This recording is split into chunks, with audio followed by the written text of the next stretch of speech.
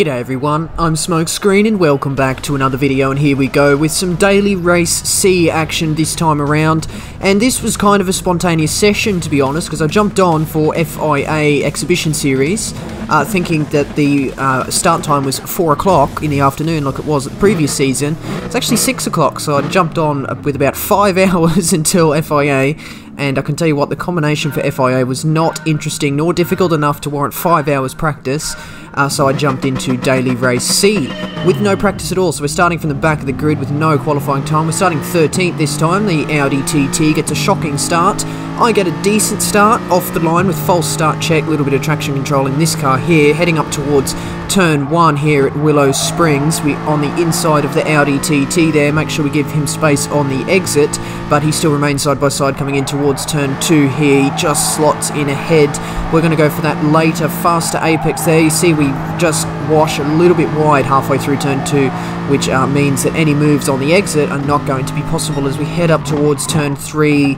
Audi TT thinks about braking early, but just comes out of the throttle. We've got two identical Nissans up ahead as well. Another TT ahead, and there is a Lamborghini ahead of the group as well that gets shepherded off the track. It comes back on, big puff of uh, dust as we head through turn 5. Massive punt on the Nissan by the Lamborghini and they end up off circuit. Does the Lamborghini get a penalty for that one?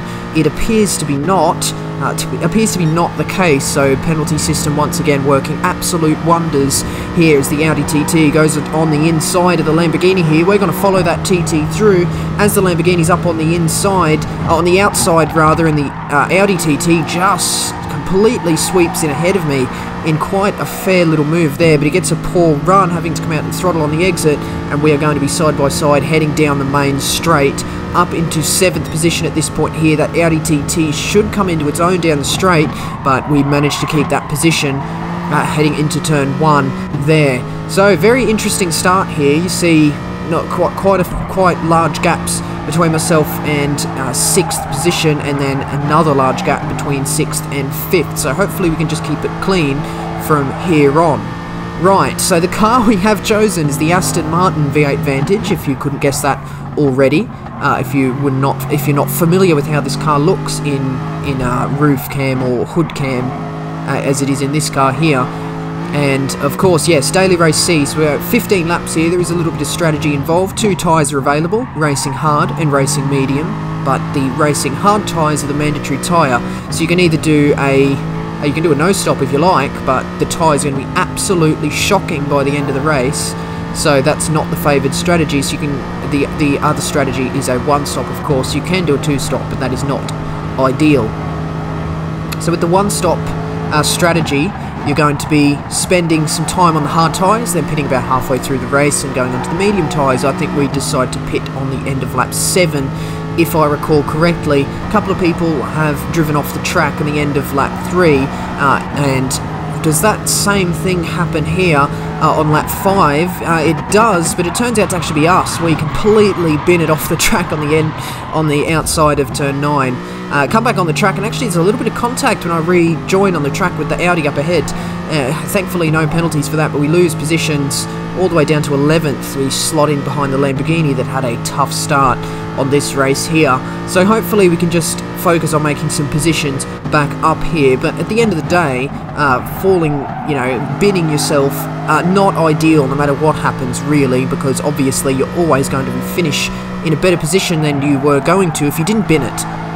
Interesting, right, so we're up behind the Lamborghini here, coming through turn 2 of lap 6, who is in turn in the slipstream of the Jaguar up ahead. Someone's on the dust in the sand on the exit of turn 2, but everyone stays in position here. Turn 3, very late apex, as we're going to try and power up the hill nice and solid. Lamborghini very wide as we head through turn 4, and that just leaves him susceptible to a move by me as we head through Budweiser balcony and heading towards turn 5 side by side contact between the Audi and the Jaguar up ahead but we're just hemmed in behind that Audi a little bit. We're not quite able to capitalise and try and get past the Audi as they get a poor run through turn 5 but as we head down the straight you can see that Audi is beginning to pull away front wheel, uh, front engine, front wheel drive FF cars very strong in a straight line as we're on the inside, heading through turn 8, and then we're heading into turn 9 now. On the inside, Audi TT on the outside, and we just sneak up the inside of the Jaguar, try and give him some space on the exit. There was a little bit of contact, but there was about half the track of space there, but I think that Jaguar ended up going into the pits anyway, so there was a slight bit of contact there, but I felt as though there was just enough room for him to try and keep his car on circuit. We managed to make our way up into 8th position. The car does a little wobble on the entry to turn 1. We just have to counter steer slightly and get a poor run, which means we have to look behind. And I think that was a Renault Megane trophy uh, behind us there, so hopefully we can just get a nice uh, clean run and not worry about a move too much. No, it was actually the uh, Lamborghini, my apologies heading through turn 2 here. So this is lap 7, about halfway through the race at this point. We have uh, had a quite you know, quite a long period of no action, which was the large portion I skipped before lap 5, but we are now heading into the pit stop phases. So a couple of people went into their uh, pits on the end of the previous lap, lap 6, and we're going to head into our pit stop on the end of lap 7 here. So as far as the rest of the race goes, we've got a couple of people we know, GT Rebecca and Phasma up in 1-2. I'm awesome, we've raced him before, and then as far as I can tell, uh, that is all the people I recognise that are currently on that leaderboard there. But as we head through the final turn, we're not going to fall victim to our previous mistake. Obviously, we were just a bit too narrow on the braking zone for turn 9, which is why we went off. We ended up going off again, actually, as we head on the exit of turn 9, but thankfully we are going into the pits. No penalties.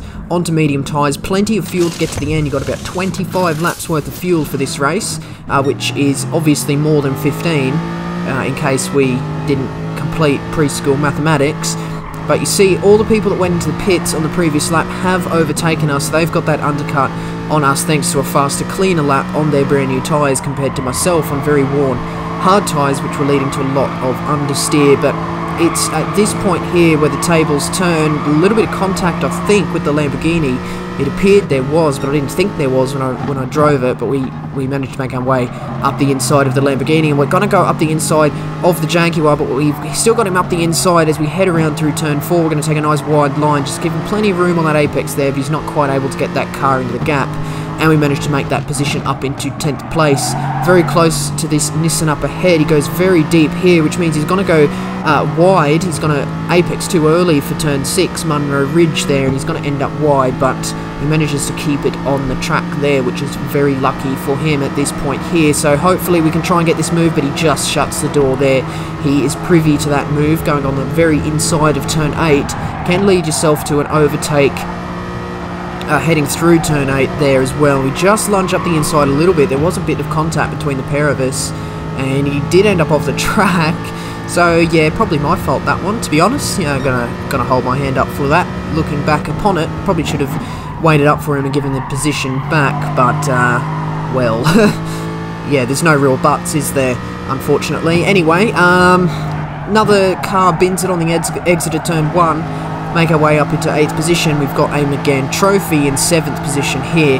That car is very poor in a straight line, so uh, the Aston Martin is not that good in a straight line, but better than the Megane Trophy. So hopefully that combined with Slipstream can mean we can get a fairly uh, clean outright overtake with minimal time loss on this Megane Trophy here, heading down the hill towards turn 5. We've got the uh, Jaguar of Nanosaur 221 fairly close behind here. We're going to have to be careful. So we're on the defence and the offence trying to overtake this Megane Trophy, but all the while trying not to allow that Jaguar to try and get an overlap on myself. But you see, we're side by side, heading through turn 7 in towards the sweeper, the final couple of corners. Here, and down on the radar, the Jaguar follows me through, so it just goes to show just how poor that Megane Trophy is in a straight line, having lost two positions there uh, going into turn 8, and then heading onto the main straight here of the of, of lap 9, uh, you see he's got the overlap heading into turn 1. We're on the inside, however, so uh, we've got to be able to remain side by side through turn 1. He almost gets completely ahead there, late on the brakes, try and meet that apex beautifully, and we have managed to defend our position there, which is not a bad uh, not a bad effort by us here. We've got a 3.2 second gap to the guy in 6th that present stage, so uh, and 20 second gap to the leaders. So I think it's this point here where I kind of decide I'm going to, you know, we're going to have a good race here with this Jaguar. I'm not going to try and worry about getting up the field uh, too much more. We do have door number 5 on our car, you can see on the bonnet, so hopefully a couple of people up ahead uh, bin it and we're able to get the positions up that way, but as far as outright pace goes, probably not going to be able to catch any further cars, although in saying that, the last few corners, the gap between myself and Lucas Alexander up ahead has gone down to 2.5 seconds, uh, was 3.2 earlier in the lap, so he perhaps is still on worn tyres, or is... Um, just not on the pace, quite frankly. But as we head into the final corner again, or second to last corner technically. We've got the Jaguar behind this time, looking up the inside as we head into turn 9, late on the brakes, roll off the brake pedal as best as you possibly can, but he is still on the inside, we're going to have to give him that space on the apex there, but he just gets caught on the curb a little bit and gets a poor run through there. Someone's very wide, way back in the distance, so that should hopefully uh, help keep the Jaguar free from pressure uh, as we try and have a good race here. Up ahead, it is a Toyota GT86, just grazes the gravel on the exit of turn 1 there, so yes, uh, in saying that hopefully some people bin it, this guy nearly does. It looks like at this stage we're going to try and get a move done on this lap. We were very wide through turn 2, but that means we get a nice fast exit. You see just the, how fast we were closing down on the Toyota 86 as we head up towards turn 3. He runs and has a, quite an early apex. We're able to get the overlap going through turn 3, rounding outside for turn 4 4. Keep it up high and wide. Still on the outside of the Toyota 86 at this point. We're heading down the hill side by side, heading into turn 5. We've got the inside for turn 5, which is the favoured uh, track position at that point there. And I was well ahead at that point as the Toyota 86. If you just looking at that radar at the precise moment of overtaking there, he did get a little bit of oversteer heading down the hill towards turn 5 there. So we have both got the move up there, myself and the Jaguar. The Jaguar following me through after forcing the error on the Toyota 86 there, but we're going to keep him to the outside for the final turn now. Very dangerous sort of place to position the car as it led myself to going completely out into the into the into the infinite abyss of sand that is surrounding Willow Springs here on lap 5. But you see, starting lap 12 now, Similar story to the previous lap, he's looking around the outside, not the place to be for lap 1, so as long as we can defend correctly, hopefully he won't be able to make a way past there. That Jaguar F-Type that he's driving is better in a straight line uh, compared to the Aston Martin, uh, I think, so we're going to have to be wary of that fact in order to try and not fall victim 20 moves there. So as he head up towards turn 3 for the 12th time, he's very close uh, behind me here, and we're going to have to try and keep it narrow for turn 4, but he's looking around the outside that time. He just clipped that sand on the inside of the turn there, very close behind. We're going to have to be careful heading up towards the final corner. We're going to have to strategically place our car in order not to allow him to get that overlap down the inside of the final corner. But you see, we make a mistake heading through turn 5, and I think uh, we ended up braking a little bit too late, and I think the guy follows uh, suit as well. He just falls to three tenths behind, which is not close enough for a move into turn 8. Yellow flag up ahead. Does somebody bend it off the track? It is fifth position is slow. As we head through the final corner here, we've got the Jaguar up the inside as well. A little bit of contact just in the apex. I am awesome there, uh, heading into the pit lane. I didn't realise until last second and almost drove into the sand uh, but we managed to get up into fifth position, so that's not a bad return here. We're in the position that the game predicts we should finish in based on our DR uh, level in the lobby, so as long as we can keep this position from the Jaguar here, it's going to be a fairly uh, good result, uh, all things considered. So if you remember at the start of the race, we did start 13th, uh, we did start, yeah, I think it was 13th out of 15th or something, uh, we started, which isn't you know, isn't great. We were the highest starter of the people that hadn't set a lap time thanks to having a nice high DR at this point. We're at about 48,000 DR at this point, which isn't bad. Very close to A plus driver rating, which is kind of where I really want to sit ultimately is A plus. Comfortably in A plus is really all is really my goal as well. So, you know, I'm quite happy that we're fairly close to that as well. As we graze the gravel heading through turn 6 there, you see the Jaguar is just closing ever so quickly as we head in towards the final corner. He almost gets that overlap to the inside, but the track just moves uh, left slightly, just in time, in order for that Jaguar to not stick his nose up the inside there. So we're going to try and get a nice fast run through the final turn now, thanks to the Jaguar. Just dropping off the back of my car a little bit as we just graze the gravel, heading onto the main straight there. The Jaguar's going to have my slipstream as we head down the straight. We're trying to decide do I go defensive or take the racing line. I think at this point here we take the racing line as he's about one and a half tenths back, which is quite a lunge for a fast flowing corner like turn one where you only drop uh, a couple of gears. Uh, four. And then heading up towards turn 2, he's now half a second behind, so he's dropped off through turn 1 thanks to us taking that racing line. He obviously may have gone slightly deep thanks to being in the slipstream, but you see just we wash a little bit wide halfway through turn 2 there, so that's we can see the tyre wear beginning to take effect here actually down on the tyre wear graphic on the bottom left of your screen my front left tyre is heading towards 30% tyre wear which is quite significant around a track like this we've got very fast sweepers, especially uh, the right-handers of turn 2, uh, 8 and 9. Even this corner here over a crest, you do want grip, so you don't end up wide on that gravel on the exit. But if we head up through Munro Ridge and Wings Leg now, which is turn 7, we're heading into turn 8. We're going to take that nice line this time, start out wide, and then take a line of, of uh, lesser resistance ideally, seeing as we're not defending, and then into the final corner. Keep our eye down on that radar. There's any car's going to start to poke into the bottom of the screen. We've actually got GT Rebecca in for a pit stop, so running very long on medium tyres, 14 laps. Uh, she did run on, I, I assume it's a she, uh, seeing the name is Rebecca.